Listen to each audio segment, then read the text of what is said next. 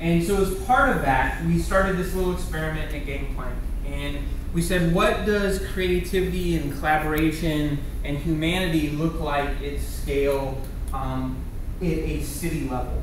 And so we, party, we partnered with the city of Chandler to start to say, what does it look like if you allow um, people to be free thinkers, to be collaborators, and to try to move the community that they live in forward in meaningful ways.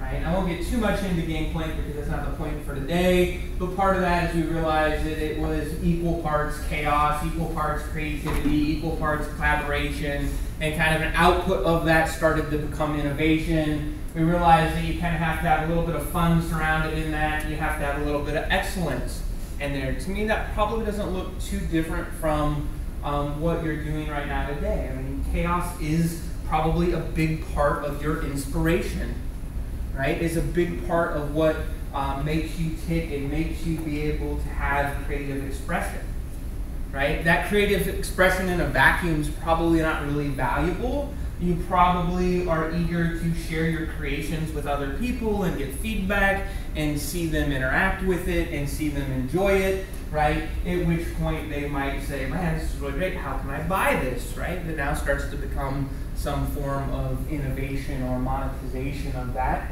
Um, you probably care about your product in a term of excellence, right? Like, I, I know I have a wife who's a, a, crafter and people want to buy her stuff all the time. She says, I would never like, I would never say this is so bad. It's like, honey, like, they want to buy it. They actually think it's decent. I know, but it's got this little flaw. Like, I can't figure out how to fix it. I, I couldn't sell them that. And it's like, okay, well, because she really is, you know, cares about what she's doing and really committed to excellence in it, then it's fun, right? It's, it's a whether it's a little bit of an escape, whether it's a little bit of, uh, you know, fills a void. Um, you know, there's some fun in it, right? So, why is that relevant to uh, why you're here today is I think we're on the verge, like I said, of a revolution. If we look at that, there's been a pretty significant economic disruption that's happened.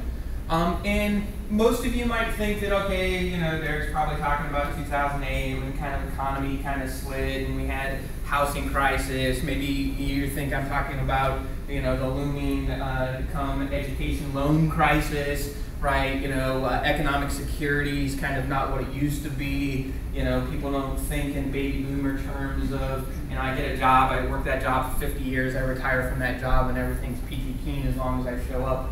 I'm talking about economic disruption that happens about every century to two centuries, right? And we, we saw this last, the last large disruption that happened was when we went from a largely uh, agrarian society to an industrial society probably happened late 1800s, early 1900s.